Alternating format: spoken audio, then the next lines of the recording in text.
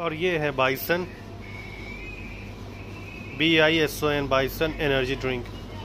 ये बहुत ज़्यादा चलती है, जो काम काज लोग करते हैं, लेबर वगैरह, बूस्ट करने के लिए एनर्जी पीते हैं इसको। रिफ़्रेश कर देती है पूरा।